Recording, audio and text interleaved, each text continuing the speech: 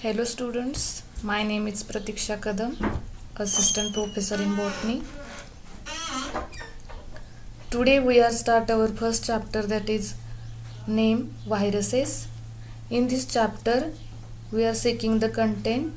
First content is discovery, second is general characters and structure of viruses.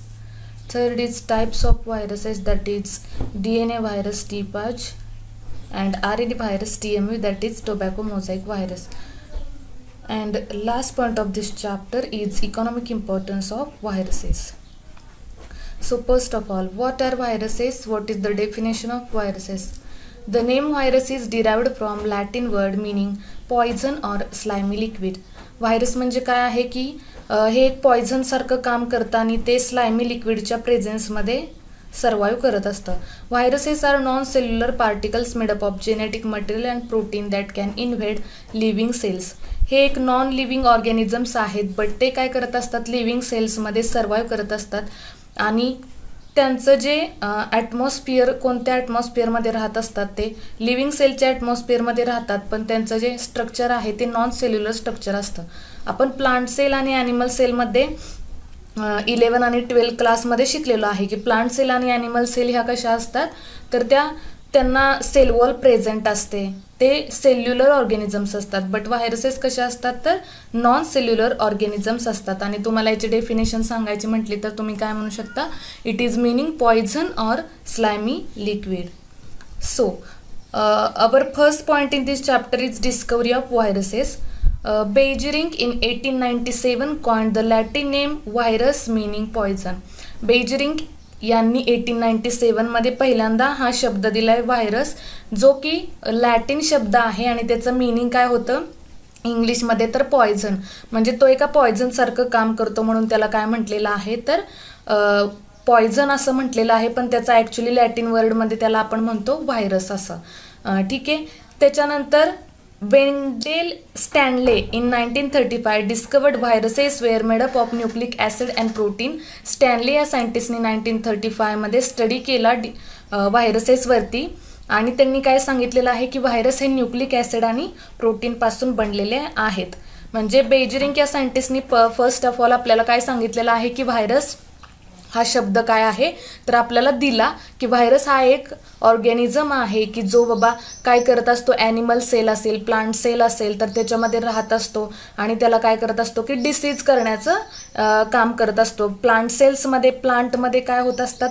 Viral disease होत असतात. तसेच आणि ॲनिमलमध्ये सुद्धा हे व्हायरल डिसीज होत असतात. जसं की आता तुम्ही बघत असाल की हा कोविड नाईन्टीन किंवा कोरोना व्हायरस म्हणून जो आता डिसीज आलेला आहे तर तो काय आहे? व्हायरल डिसीज आहे की जो काय करत आहे? ॲनिमल सेल म्हणजेच तुम्ही काय म्हणून म्हणू शकता की जे ह्युमन बिईंग्ज आहेत त्यांना काय करत आहे? त्यांच्यावरती अटॅक करत आहे आणि बरेच ह्युमन बिईंग्स त्या डिसीजमुळे बऱ्यापैकी जे ह्युमन बिईंग्ज आहेत त्याच्यामुळे डाईड झालेले आहेत. ठीक आहे? Our next point is characteristics of viruses biologist consider viruses to be non living because म्हणजे बायोलॉजिस्टनी सांगितलेलं आहे की हे एक नॉन लिव्हिंग ऑर्गॅनिझम आहे. तुम्ही म्हणाल की हे लिव्हिंग सेलमध्ये राहतं डिसीज कंडक्ट करतं डिसीज एखाद्या प्लांट प्लांट सेलला किंवा ॲनिमल सेलला करतं तर मग आपण त्याला लिव्हिंग का नाही म्हणत? तर हे जे ऑर्गॅनिझम्स आहेत ते नॉन लिव्हिंग आहेत बट ते नॉन लिव्हिंग जरी असले तरी त्यांना जर राहायचं असेल तर ते कशामध्ये राहत असतात? तर लिव्हिंग ऑर्गॅनिझममध्ये राहत असतात. आणि त्यांना नॉन लिव्हिंग का म्हणलेलं आहे? They are not cells do not grow or respond to their surroundings they are not actually cells they do not grow to respond to their surroundings ते त्याच्या सराउंडिंगला कधी रिस्पॉन्ड करत नाहीत. Can not make food take in food or produce waste त्यांना आपण living organism म्हणू शकत नाही. कारण काय आहे? तर ते फूड तयार करू शकत नाहीत. फूड टेकआउट करू शकत नाहीत किंवा ते वेस्ट पण प्रोड्यूस करू शकत नाही म्हणून आपण त्यांना काय म्हटलेलं आहे? Non living organisms viruses do not respond to stimuli they can only multiply if in another living cell viruses आहेत ते फक्त काय करू शकतात? लिव्हिंग सेलमध्ये राहून त्याचं मल्टिप्लिकेशन करू शकतात. म्हणजेच काय? की एक जर सेल असेल त्या एका सेलपासून अनादर सेल काय असेल काय अस काय होत असते तर तयार होत असते. एकच जी सेल असेल त्यापासून अजून लिव्हिंग सेल तयार होतात. पण ते केव्हा तयार होतात? तर एखाद्या लिव्हिंग ऑर्गॅनिझममध्ये ज्यावेळेला तो व्हायरस राहत असेल त्यावेळी. अजून त्याचे कॅरेक्टरिस्टिक्स आपण बघूयात. अजून कॅरेक्टरिस्टिक फीचर काय आहेत त्याचे? नॉन लिव्हिंग स्ट्रक्चर आहे हे आपण शिकलो आहे नॉन सेल्युलर ऑर्गॅनिझम आहे हे पण तुम्हाला सांगितलेलं आहे. प्लांट सेल असतील ॲनिमल सेल असतील सेल्युलर ऑर्गॅनिझम पण ह्याच्यामध्ये काय आहे? तर हे नॉन सेल्युलर ऑर्गॅनिझम्स असतात. जे सेल्युलर ऑर्गॅनिझममध्ये जे पा पार्टिकल्स किंवा जे पार्ट्स असतात ते ह्या ऑर्गॅनिझममध्ये प्रेझेंट नसतात. It contain a protein coat called the capsid तुम्ही बघत असाल की प्लांट सेल किंवा ॲनिमल सेलमध्ये आपण बघतो तर ती जी प्लांट सेल असते ती कशानं हे केलेली असते कोट केलेली असते तर सेल वॉलनी तर व्हायरसमध्ये जे त्याचं कोटिंग असतं त्याला आपण काय म्हणत असतो? कॅप्सिड म्हणत असतो. हा जो क्वेश्चन आहे तुम्हाला मल्टिपल चॉईस क्वेश्चनला येऊ शकतो ठीक आहे? Our next point have a nucleic acid core containing D N A or R N A वर one or the other not both एकतर त्याच्यामध्ये डी एन ए प्रेझेंट असेल किंवा आर एन ए प्रेझेंट असेल. Both pre both are not present D N A present असेल एकतर किंवा R N ए या दोन्ही स्ट्रक्चरपैकी एक स्ट्रक्चर काय असेल व्हायरसमध्ये प्रेझेंट असेल. It capable of reproducing only when inside a host cell it capable only reproducing inside a host cell काय मिनिंग आहे? की हे कधी मल्टिप्लाय करू शकतात किंवा कधी रिप्रोडक्शन करू शकतात तर ते एखाद्या होस्ट सेलमध्ये ज्या वेळेला राहत असतील त्याच वेळेला ते काय करू शकत आहेत? त्यांचं रिप्रोडक्शन करू शकत आहेत. नेक्स्ट कॅरेक्टरिस्टिक्समध्ये काय सांगितलेलं आहे? Some viruses are enclosed in and protective envelope बऱ्यापैकी जे व्हायरस आहेत त्यांना काय केलेलं आहे? प्रोटेक्टिव्ह इन्व्हेलप आहे. जशा प्रकारे ॲनिमल सेलमध्ये जे सेल वॉल असते त्या सेल वॉलच्या सेल वॉलच्या बाहेर ह्याचं कॅप्सिडच्या बाहेर ह्याच्यामध्ये काय असू शकतं? तर त्याची सेल इन्व्हेलप असू शकते. Some viruses may have spikes to help attach to the host cell host सेलला पटकन अटॅच करण्यासाठी त्याच्यावरती पटकन कन्झर्व करण्यासाठी त्याच्याम त्याच्यावरती आपल्याला काय दिसतात? स्पाइक्स काट्यास काटेरी एक स्ट्रक्चर असतं की जे व्हायरसला त्याच्यावरती कोटिंगवरती आपल्याला दिसत असतं. मो most viruses infect only specific host cells म्हणजे जे व्हायरस आहेत ते फक्त एखाद्या स्पेसिफिक होस्ट सेल जे असतील पर्टिक्युलर एखाद्या ऑर्गॅनिझमलाच काय करू शकत असतात तर त्याच्यावरतीच ते कन्झ्युम करू शकत असतात. ज्या वेळेला तुम्ही टोबॅको मोझॅक व्हायरस बघता तर टोबॅको मोझॅक व्हायरस आहे हा आपण या चॅप्टरमध्ये टाईप शिकणार आहे. अशा प्रकारे जे व्हायरस असतात ते फक्त काय करत असतात सोलॅनेसी फॅमिली मेंबरमध्येच फक्त काय करू शकत असतात तर त्याच्यावरतीच ते ॲडॉप्ट होऊ शकत असतात त्याच्यावरतीच फक्त ते राहू शकत असतात. म्हणजे एखाद्या स्पेसिफिक होस्ट सेलला पकडून त्याच्यावरतीच ते राहण्याचं काम करत आहेत. इथं तुम्ही बघू शकता तुम्हाला एक डायग्राम दिलेला आहे त्याच्यामध्ये की जे व्हायरस आहे त्याच्यामध्ये काय दिलं? आत एकतर डी एन ए स्ट्रक्चर असेल किंवा आर एन ए स्ट्रक्चर असेल इथं कशाचं स्ट्रक्चर दिलं आहे डी एन एचं त्याच्या सराउंडिंगला एक लेअर आहे तिला आपण म्हटलंय कॅप्सिड आणि त्याच्या सराउंडिंगमध्ये आहे इन्व्हेलप किंवा स्पाइक्स स्पाइक्सचं जे स्ट्रक्चर आहे काटेरी स्ट्रक्चर तुम्ही बघू शकत असाल. हे व्हायरसच्या सराउंडिंगला असतं का तर ते होस्ट सेलवरती काय करू शकतात? पटकन पटकन त्याच्यावरती चिकटून राहू शकतात पटकन त्याला किल करू शकतात अशा प्रकारचं किंवा पटकन त्याला त्याच्यावरती राहून त्याला अटॅच करू शकतात. यासाठी काय केलेलं आहे ते स्पाइक्सचं स्ट्रक्चर त्याच्यावरती प्रेझेंट असतं.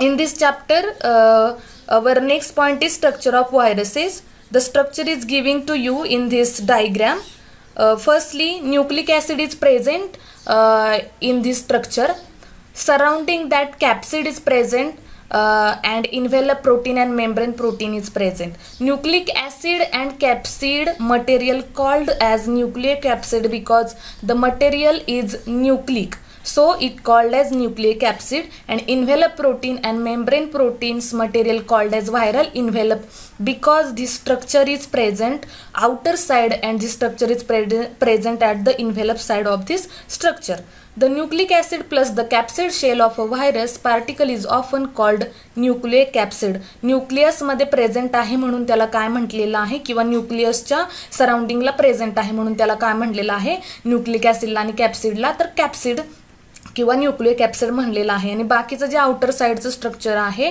ते इन्व्हेलपमध्ये प्रेझेंट आहे म्हणून आपण त्याला काय म्हणतोय? व्हायरल इन्व्हेलप व्हायरिओन म्हणजे काय? The complete virus particle nucleic acid plus protein coats which may be surrounded by an envelope म्हणजे जे न्यूक्लिक ॲसिड आहे वरती त्याच्या प्रोटीन कोट आणि सराउंडेड बाय इन्व्हेलप त्याला आपण एकत्रितपणे काय म्हणू शकतोय की व्हायरल स्ट्रक्चर असं एकत्रितपणे म्हणू शकतोय. म्हणून हे तुम्हाला रफली डायग्राम दिलेली आहे व्हायरसची की व्हायरल स्ट्रक्चर कशा प्रकारे असतं त्याची. अजून एक तुम्हाला त्याच्याबद्दल सांगितलेलं आहे की साईज काहीपर्यंत त्याचे असू शकते. तुम्ही तुम्हाला माहीत असेल की जे व्हायरस आहेत ते आपल्याला कधीच नेकड आईजने आपण त्यांना बघू शकत नाही. Size is between twenty to three hundred nanometer diameter okay म्हणजे त्याची जी साईज आहे ती डायमीटर नॅनोमीटरमध्ये आहे त्यामुळे आपण त्याला नेकड आईजने बघू शकत नाही. Basic shape rod like and spherical म्हणजे याच्यामध्ये शेप जे असतात स्ट्रक्चर व्हायरसचं जे असतं ते कशा प्रकारे असू शकतं? एकतर रॉड लाईक रॉड लाईक म्हणजे काय? जे रॉड्स असतात सळीसारखं एकतर त्याचं स्ट्रक्चर असू शकतं किंवा स्पेरिकल राऊंड शेपमध्ये त्याचं स्ट्रक्चर असू शकतं. ठीक आहे? Next point is genomic material genomic material त्याच्यामध्ये काय असू शकतं? D N A or R N A never both जे तुम्हाला आधी सांगितलेलं आहे एकतर डी एन ए असेल त्या स्ट्रक्चरमध्ये किंवा आर एन ए असेल आणि एकतर ते सिंगल असेल किंवा डबल स्ट्रँडेड असेल. व्हायरस स्ट्रक्चरमध्ये तुम्ही काय म्हणू शकता की एकतर ते सिंगल स्ट्रँडर्ड स्ट्रक्चर असेल त्याचं किंवा कसं स्ट्रक्चर असेल तर double stranded structure okay so अजून एक डायग्राम तुम्हाला इथं दिलेलं आहे की व्हायरसचं स्ट्रक्चर ॲक्च्युली जे तुम्हाला सांगितलं की त्याच्यावरती कसे असतात? स्पाइक्स लाईक स्ट्रक्चर त्याच्यामध्ये प्रेझेंट असतं. So nucleic acid is present in front of this and capsomer or capsid is present around the nucleic acid and lastly envelope is present and surrounding the capsid and spikes are present on that envelope these spikes helps to attach to another body हे जे spikes आहेत ते काय करत असतात अनादर बॉडीला attach करण्यासाठी व्हायरसला मदत करत असतात पॉईंट्समध्ये तुम्हाला काय दिलेले आहे की प्रोटेक्टिव्ह शेल आहे त्याला आपण काय म्हटलेलं आहे? Capsid made of identical protein subunits ते जे कॅप्सिड आहे ते कशापासून बनलेलं आहे? प्रोटीन सब युनिट्सपासून बनलेला आहे. Protect the genetic material may be involved in cell entry symmetrically organised fifty percent of weight हे सिमेट्रिकली ऑर्गनायझड असतं आणि त्याच्यामध्ये fifty percent of weight present असतं. इन्व्हेलप्ड ऑर नॉन इन्व्हेलेप्ड एकतर त्याच्यामध्ये इन्व्हेलप प्रेझेंट असेल पण नाही पण स्पाइक्स पण कधी प्रेझेंट असतील नाही इन्व्हेलप पण प्रेझेंट असेल नसेल न्यूक्लिक ॲसिडमध्ये डी एन ए किंवा आर एन ए प्रेझेंट असेल आणि त्याच्या सराउंडिंगला काय असेल तर कॅप्सिड असेल. इन्व्हेलपमध्ये काय दिलेलं आहे बघा? A lipid containing membrane that surround some virus particles त्याच्यामध्ये lipid contain as lipid content आहे. आणि त्याच्या सराउंडला व्हायरस पार्टिकल्स आहेत. लोकेटेड आउटसाइड द कॅप्सिड कॅप्सिडच्या आउटसाईडला इन्व्हेलप प्रेझेंट आहे. त्याच्यामध्ये लिपिड मेम्ब्रन आहे.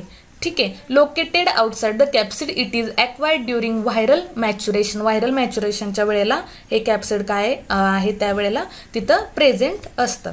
ठीक आहे? So our next point in this chapter is types of viruses I will tell you that is DNA virus, uh, T5 virus is one of them and uh, RNA virus that is TMV virus is second of them. T5 that is T4 is a species bacteriophage Escherichia coli bacteria. As you know this is a bacteria. It is a double stranded DNA virus in the subfamily Tivani vireni from the family Myoviridae T4 is capable of undergoing only a lytic life cycle and not the lysogenic life cycle. Lytic cycle म्हणजे काय आहे the DNA of the virus does not integrate into the host DNA and lysogenic life cycle means the DNA of the virus integrates into the host DNA. So ह्याच्यामध्ये काय आहे तर फक्त लायटिक्स life cycle चालते की जी ज्याच्यामध्ये काय होतं the D N of the virus does not integrate the host D N A okay? This includes among other strains including enterobacteria phage T2 and enterobacteria phage T6 हे याच्यामध्ये टी फाजमध्ये येत आहे. So next type of virus that is tobacco mosaic virus we also called it is T M V it is a type of R N A virus ह्याचं structure तुम्ही बघू शकता की त्याच्यामध्ये कसं स्ट्रक्चर दिलेलं आहे की अशा राऊंड शेपमध्ये त्याचं काय होत असतं फॉर्म होत असतं. हा जो डिसीज आहे टोबॅको मोझॅक व्हायरस हा टोबॅकोच्या पानांवरती पडत असतो. टोबॅकोचे जे प्लांट आहे त्याच्यामध्ये हा डिसीज ऑर्गनाईज करतो. आणि अशा प्रकारचे सोलॅनेसी फॅमिली मेंबरमध्ये हा जो डिसीज आहे तो बऱ्यापैकी आपल्याला काय काय होतं तर दिसून येत आहे. Tobacco mosaic virus is a positive sense single stranded R N A virus species in the genus tobamo tobamovirus मी तुम्हाला सांगितलेलं होतं की हा एक आर एन ए व्हायरस आहे जो इन्फेक्ट करत असतो प्लांट्सवरती Solanaceae मेंबरच्या. Specially tobacco and others member of the Solanaceae family the infection causes characteristic pattern such as mosaic like mottling and discolouration on the leaves म्हणजे काय याच्यामध्ये काय आपल्याला दिसत असतं? तर ती ती जी पानं आहेत त्याच्यामध्ये काय दिसते? मोझाईक लाईक ॲपिअरन्स त्या पानावरती आलेला असतो. मोझाईक पहिली फरशी असायची बघा मोझाईक फरशी आपण त्याला म्हणायचो. अशा प्रकारचे जे स्पॉट्स असतात ते त्याच्या पानांवरती दिसतात. म्हणून त्याला त्या डिसीजला नाव काय पडलेलं आहे तर टोबॅको मोझाईक व्हायरस आणि ह्याच्यामध्ये काय होतं? पानांचं परत मॉटलिंग होतं. म्हणजेच काय तर पा पानांचं सुरकुतल्यासारखं ते पानं दिसत असतात. आणि नंतर त्याच्यामध्ये काय दिसतं? तर त्या पानाचं डिस्कलरेशन झालेलं दिसतं. म्हणजे त्याचा कलर जो आहे तो काय झालेला दिसतो तर जो ग्रीन कलर आहे तो येल्लो कलरमध्ये काय झालेला असतो? फॉर्म झालेला असतो. येल्लो कलर असेल किंवा व्हाईट कलर असेल त्या पानांचा कलर जो ग्रीनिश कलर असतो तो कलर वेगळा दिसायला लागतो आपल्याला. TME was the first virus to be discovered, although it was known from the late 19th century that a non-bacterial infectious disease. हा जो डिसीज आहे व्हायरल डिसीज टी एम ही हा पहिल्यांदा व्हायरस म्हणून काय झालेला आहे आपल्याला टोबॅको मोझाईक व्हायरस जो डिसीज आहे तो पहिल्यांदा काय दिसलेला आहे? ह्या व्हायरस व्हायरस डिसीजमध्ये पहिल्यांदा टोबॅको माय मोझाईक व्हायरस हा डिसीज स्टडी केला गेलेला आहे. हा डॅमेज करतो tobacco क्रॉप्सला it was until nineteen thirty that the infectious agent was determined to be a virus पहिल्यांदा नाईन्टीन सेंचुरीमध्ये याचा स्टडी केला पण नाईन्टीन थर्टीमध्ये ॲक्च्युली असं माहीत झालं की हा जो एजंट आहे इन्फेक्शियस एजंट तो ॲक्च्युली बॅक्टेरियल नाही तर तो काय आहे? व्हायरल डिसीज आहे. It is the first pathogen identified as a virus हा जो पॅथोजन आहे टोबॅको मोझाईक व्हायरस हा पहिल्यांदा ॲज अ व्हायरस काय झालेला आहे तर आयडेंटिफाय झालेला आहे. Okay our last point in this chapter it is economic importance of viruses आपण आता याच्यामध्ये इकॉनॉमिक इम्पॉर्टन्सचे दोन पार्ट केलेले आहेत.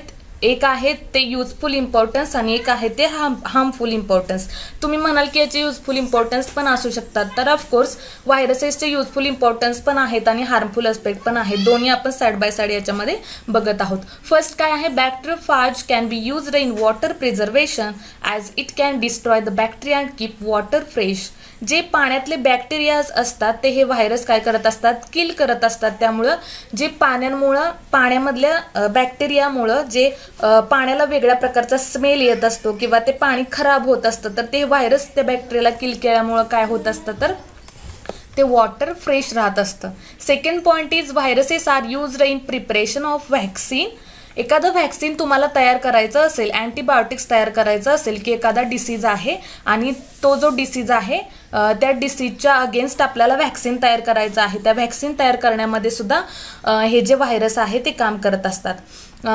Third point is it is used in various pharmaceutical products such as proteins vaccine antigen and antibodies म्हणजे हे जे virus आहे ते काय काय तयार करण्यामध्ये आपल्याला मदत करत आहे?